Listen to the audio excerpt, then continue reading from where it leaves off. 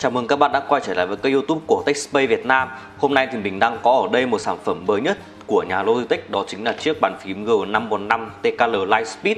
Thì khi mà nói đến những cái sản phẩm gaming gear, Đặc biệt là bàn phím của Logitech, Thì mình thấy là nó đang vấp phải những cái ý kiến trái chiều khá là lớn. Bởi vì những cái sản phẩm mà mới ra năm nay của Logi, Bao gồm chiếc ZBRX 60 Nó có một cái mức giá rất là cao, Tiệm cận với cả là cái con vua phím Putin 62 cộng. Tuy nhiên thì cái hiệu năng và những cái công nghệ của nó cho ra ấy, thì mình thấy là nó rất là bình thường. Tức là những cái mà các bạn có thì những cái sản phẩm mà rẻ hơn rất là nhiều lần thì nó cũng sẽ được trang bị luôn. Tuy nhiên thì với chiếc G5 của năm này thì nó lại hoàn toàn khác. Và những cái đặc điểm của nó cụ thể như nào thì hãy cùng mình theo dõi trong video hôm nay nhé. Rồi vào cái chiếc bàn phím G515 này thì nó là một sản phẩm low profile. Vậy nên là để đặt cạnh nó và so sánh với những bộ phím gaming khác nhau thì nói chung là sẽ rất khó để mà ngang kèo. Bởi vì low profile và những cái sản phẩm phím cơ thông thường thì gõ và những cái về mặt trải nghiệm này, switch này, công nghệ của nó đã khác nhau rồi. Thêm một cái nữa nhé là với chiếc G515 TKL này các bạn sẽ có đầy đủ những công nghệ mới nhất của Logitech bao gồm là công nghệ không dây Light Speed này 31 kết nối. Tuy nhiên thì cái mức giá của các bạn ấy hiện tại sẽ chỉ khoảng tầm độ 2 triệu rưỡi, 2 triệu 6 mà thôi. Tức là nó sẽ rẻ hơn rất là nhiều, rẻ hơn khoảng tầm gần một nửa so với cả là những cái mẫu phím kia.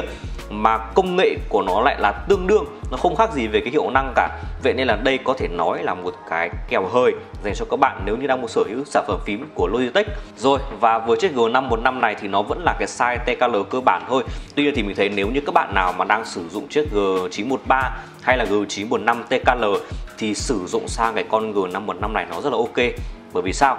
Đầu tiên là cái phần keycap Cái phần keycap này nó là một cái điểm yếu rất là chí mạng của dòng G913 và G915 TKL Cái này thì các bạn có lên chợ này hay là lên bất cứ một cái diễn đàn nào Thì sẽ đều thấy là những cái sản phẩm phím đó, nó sẽ bị bong chóc keycap ra rất là nhanh chỉ sau khoảng tầm độ một vài tháng sử dụng.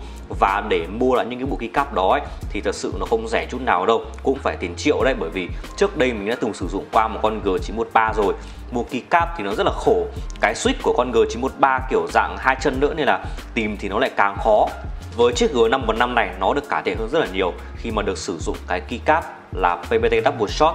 Dĩ nhiên thì với cái dạng low profile này, các bạn cũng không thể nào mà đòi hỏi là nó phải kiểu in, dày dặn hay là kiểu nó chất lượng như là cái keycap thông thường được. Mà cái PPT Double Shot ở trên chiếc G515 này, mình đánh giá nó ở mức đủ dùng. Và mặc dù là PPT tuy nhiên thì các bạn có thể thấy đây, cái phần xuyên led của nó vẫn rất là ngon. Mình đang có một cái nguồn sáng khá là mạnh ở từ cả bên ngoài và bên trong hắt vào thì nó vẫn cho lại một cái ờ, ngoại hình rất là ok luôn Mặc dù chiếc G515 TKL này được hoàn thiện bằng phun từ nhựa thôi nhưng mà nó cũng đã nặng hơn cái con G93 TKL khoảng tầm độ 100g rồi. Ờ, về cái phần độ nặng của nó ấy, mình thấy là đây nó sẽ chia thành hai phần. Đầu tiên là cái phần nhựa để chứa mật A này và cái miếng nhựa ốp ở đằng sau nó rất là dày.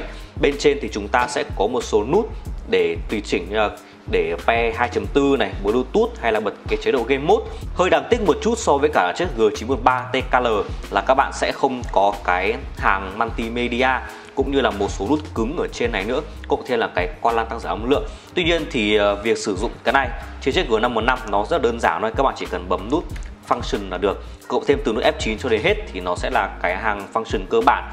Dĩ nhiên thì về cái độ đẹp và sang trọng thì nó sẽ không thể bằng chiếc G913 TKL được, bởi vì nó được làm hoàn thiện từ mặt A full nhôm phay xước, trông rất là cao cấp. Tuy nhiên thì cái phần nhôm này của con G913 mình thấy là nó hay bị hiện tượng là tê giật điện nếu như các bạn không được nổ đất PC. Vậy nên là với chiếc G515 này, nó chỉ là phun nhựa thôi, nhưng mà những cái trải nghiệm game mà mình sử dụng qua, mình thấy rất là hài lòng và các bạn nếu như đang dùng G913 thì có thể đổi sang con này trải nghiệm và sẽ thể thích luôn. Rồi và với cái hiệu quả sử dụng hàng ngày thì sao? Đây là một chiếc bàn phím mà mình đã mên trong khoảng tầm độ gần một tháng nay rồi Mình đã sử dụng để bào nó ra rất là kỹ Và bây giờ thì mình cũng đã bớt sử dụng đến những cái sản phẩm bàn phím HE, Rapid Trigger Mà thay thế toàn bộ dành cho chiếc G515 TKL này rồi Bởi vì sao? Những cái tựa game mà mình chơi như kiểu là đột kích hay là Counter Strike thì nó sẽ không cần quá nhiều cái tính năng rapid trigger đó. Và để sử dụng con này dành cho mục đích là try hard và đi bàn rank thì nó rất là ngon. Mình sẽ show ra một cái đoạn gameplay để cho các bạn theo dõi và mọi thứ mọi bước di chuyển của mình ở trong các tự game liên quan đến phần uh, giạt pick này liên quan đến những cái gọi là di chuyển và hack não đối phương di chuyển không độ phút ở trong cái tựa game đột kích thì nó vẫn rất là ngon. Với việc con này sử dụng cái switch dạng low profile hiện tại thì Việt Nam chỉ bán cái phiên bản là tactile brow switch này thôi.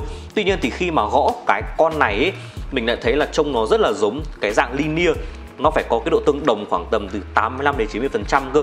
Cảm nhận khớp của nó là không nhiều đâu. Nên là để bắn CS các bạn ờ, có move ảo như này ấy, thì sẽ không bị kiểu cấn tay hay gì đâu bởi vì lực nhấn của nó cho ra.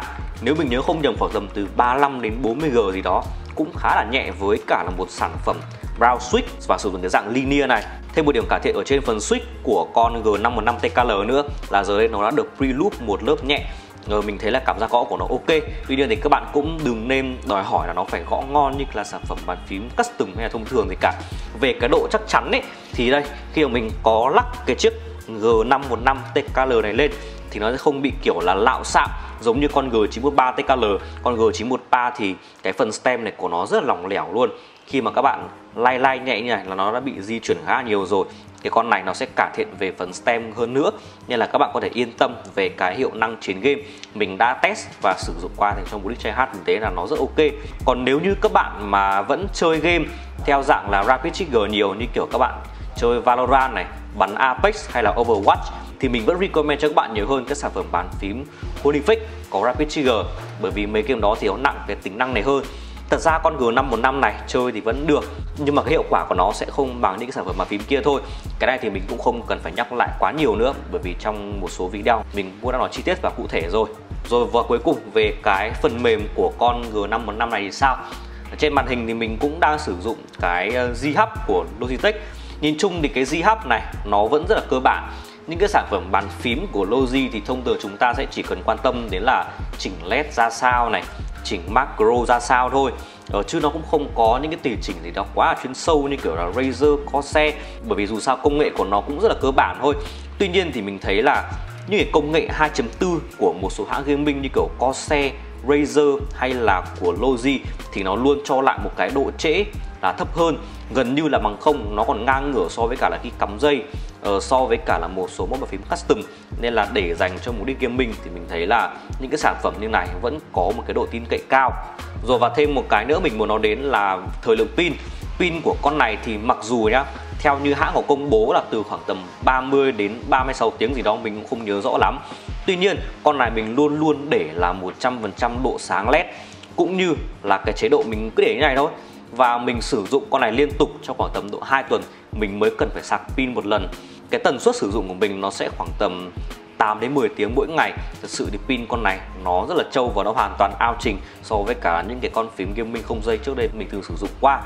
Và rồi, đây là những gì mình muốn chia sẻ chi tiết cho các bạn về chiếc bàn phím G515 TKL này chắc chắn thì với mức giá khoảng tầm độ lanh quanh 2 triệu rưỡi uh, các bạn sẽ không có một cái sản phẩm nó quá là bị ngáo giá giống như kiểu là con G Pro X60 hay là con G Pro X TKL giá của có những con nó thì đắt mình thật sự là cũng không recommend cho các bạn mua làm gì cả. Tuy nhiên thì nếu như các bạn cần một sản phẩm bàn phím không dây độ chế rất là ngon này, low profile, cảm giác của nó sẽ khác đi một chút. Các bạn muốn ờ, sử dụng để trải nghiệm nhiều hơn thì mình vẫn rất là recommend cái sản phẩm này cho các bạn để trải nghiệm và sử dụng cho các mục đích chơi hát rồi, và nếu như cần mua sản phẩm này, mình sẽ để đường link ở phần bình luận và mô tả của video. Còn bây giờ thì xin chào và hẹn gặp lại các bạn. Peace.